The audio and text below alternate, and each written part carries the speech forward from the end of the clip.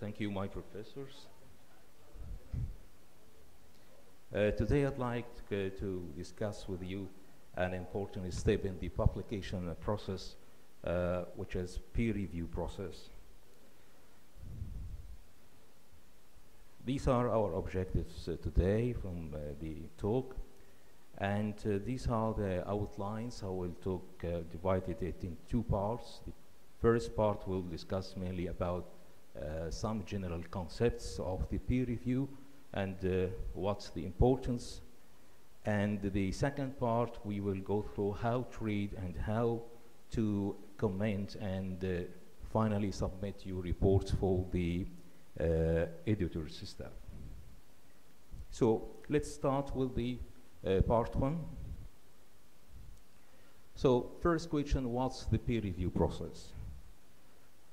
Peer review means uh, critical assessment of uh, submitted article or manuscript to a specific journal, usually in your field. And this submission will be revised by experts in the field. Usually those experts were not a part of the editorial staff. So why do we need the peer review? Is it important? Actually, imagine that you have a new results, new interesting one, or uh, a general concept need to be published in the scientific community, and you need to prove its validity. So the best way for validation through the peer review process. So the general concept of the importance of peer review means that peer review, it means the standardization and the validation of your scientific contribution. Also peer review provide the scientific community and journals by standardization of the field, helps journals select high quality manuscripts, prevents against misconduct, provides editorial staff with opinions, and definitely improves the quality of your manuscript. Who should be a reviewer?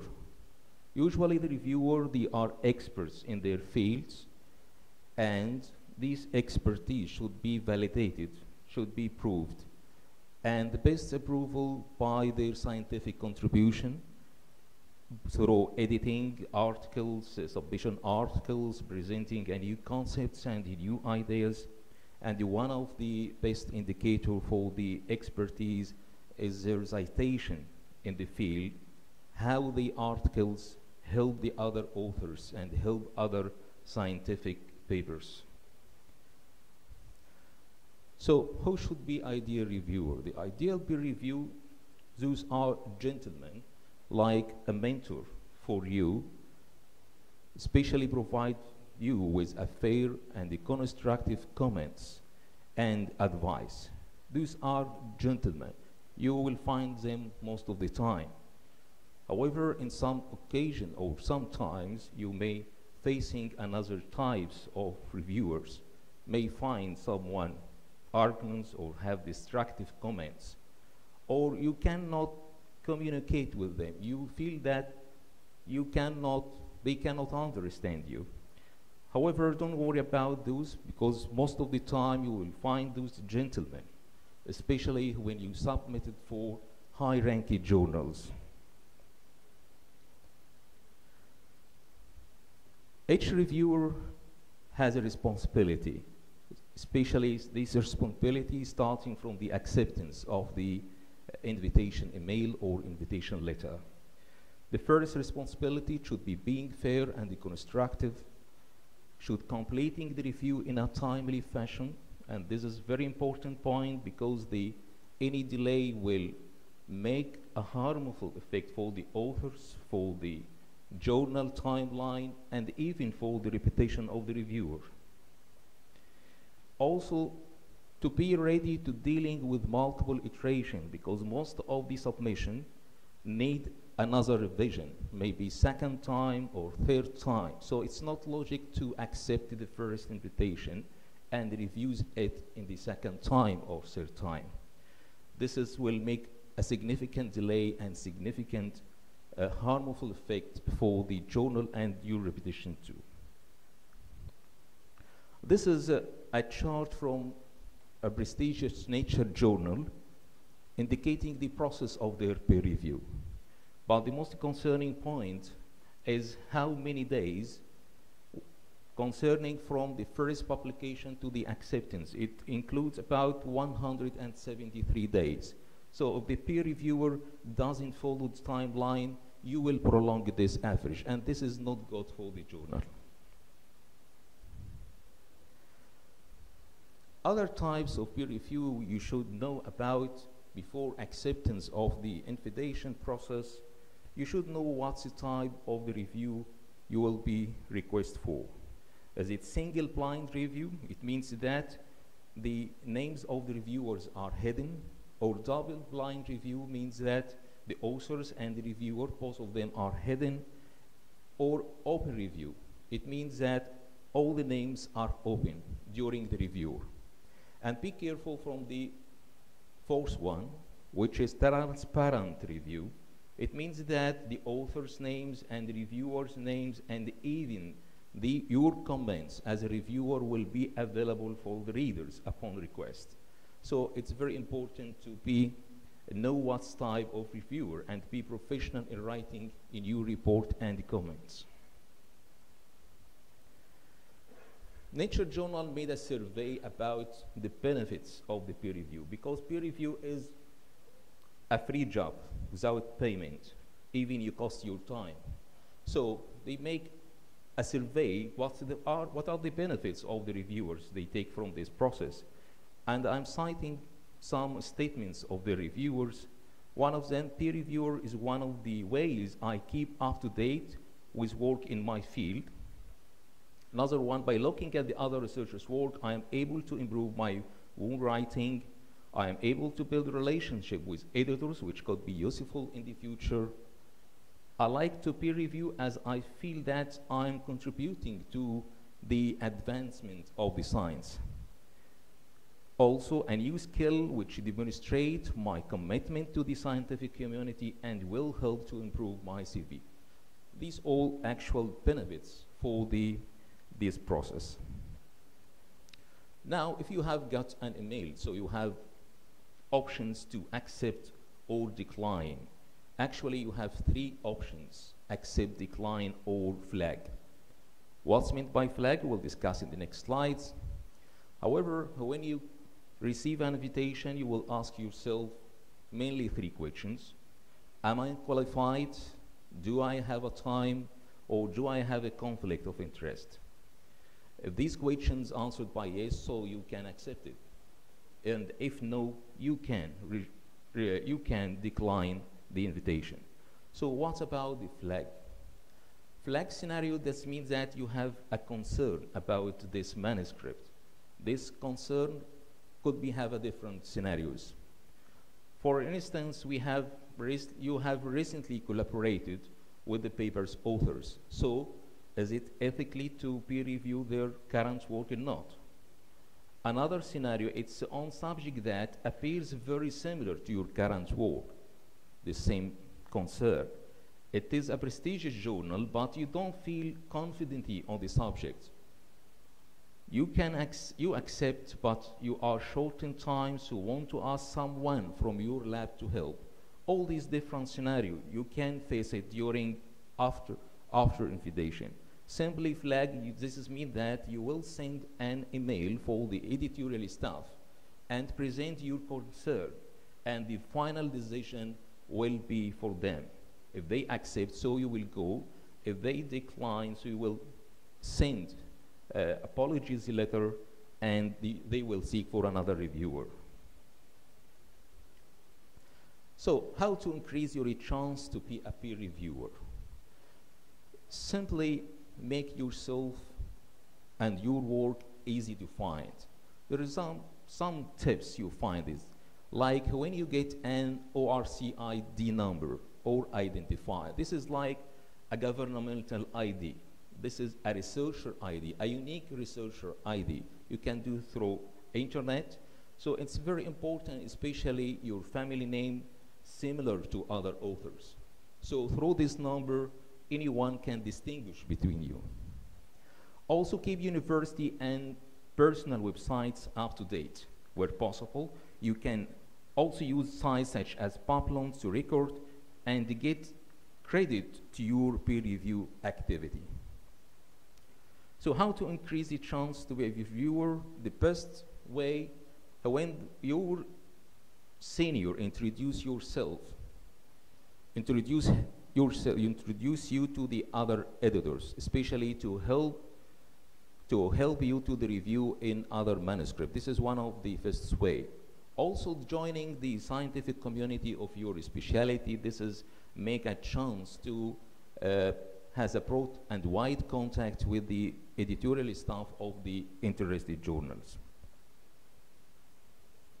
So let us shift to the part two, how I read, how can I read, and how can I write my comments. Before preparing to the review after your acceptance, you have a simple checklist.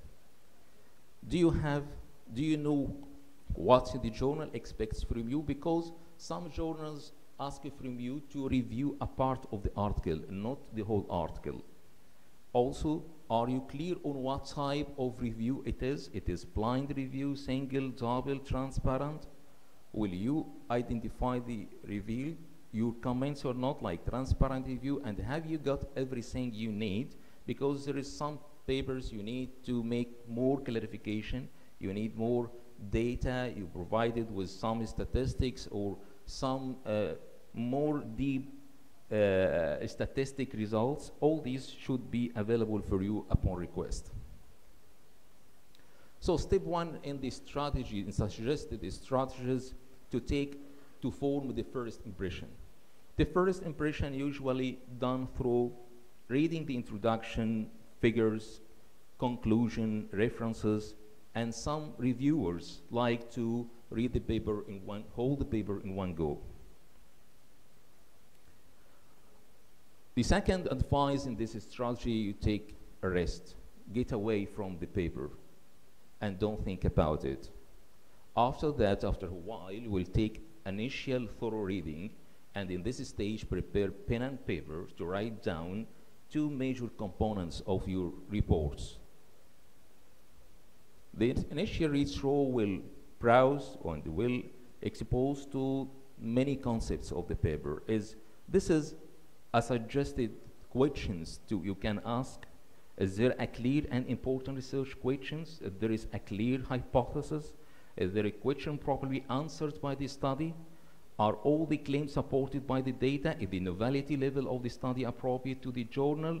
Is the study design appropriate? Are there any fundamental flaws in the study design that the paper have strong technical elements or not? You may take a, another stress or not, but I don't prefer that. However, the major comments you should write down, including the major sections, patient and methods and the study designs, and the results section. You should analyzing the study design and make notes, is it appropriate or not? Also, will the methodology and analysis were appropriate for results and support the conclusions or there is a contradiction? There is a feedback about the major comments. You can go through the figures, especially in our uh, field as a radiologist, figures are very important. And you can step after that to the minor comments, including any other parts of the article, like the title, uh, abstract, and any grammatical error or spelling, something like that. So the major comments items you should know about it, problem with the study design, incorrect analysis, insufficient data, improper referencing, wrong interpretation of results, understand limitation of the paper. The minor comments include other parts of the paper title, abstract, any minor additional analysis, or suggested changes in the figures. I will provide you some template questions for each part of the article, including from the title. So title you can ask, is it the title descriptive to the report? Does it draw the interest of the reader? Does it focus on the main and the most novel findings? Also, the, regarding the abstract, rem please remember top five questions, top five points, because the abstract, this is the usual uh, invitation document supported by the email. You should ask the, are the authors, why did the authors do this study? And what did they do? And how did they do? And if the results is conclusive or not? And the conclusion is supported by the results or not? When it comes to introduction, introduction is, my opinion, in one of the best way to address the importance of the letter. The introduction expose the literature in a good manner or not, and usually aimed with your hypothesis, ends with your question of answer, and why you will do this study. So some suggested questions, including does it give enough information through the literature? Does it goes up to date and referenced? Does why this study was necessary? As usually, this is the last paragraph ended by the your hypothesis. The next one with the assessment of the study design, which is concerning about the major flaws of the study design, for which uh, many papers could be rejected. So the most important whether the study design and the methodology used were appropriate to reach the aims set out in the introduction, or they allow the researcher to replicate the experiments. The any aim of the research, uh, when it finished, this is means that it is repeatable or not, or you just only one you can do it. This is not a successful paper. Also, you can suggest alternative methods if you think an additional experiments will strengthen the conclusions. Again, explain which study design you believe. You remember that you are advisor and give a fair and constructive comment. So you should say that it's not a wrong study design, but you should say what's the right one and what's the appropriate one. Assessing the techniques, there is a control should be involved in this, this study according to the study design, are there defined outcome, it is reproducible, a good statistical test, there is a wood bias or ethical guidelines, follow the ethical guidelines or not.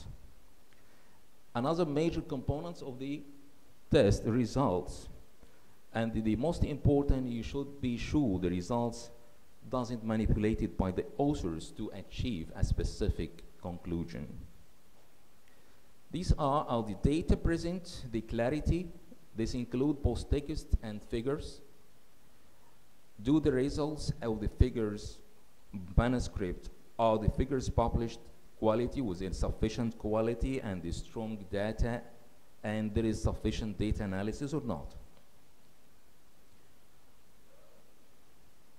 Also, the conclusion of the study should be supported by the results.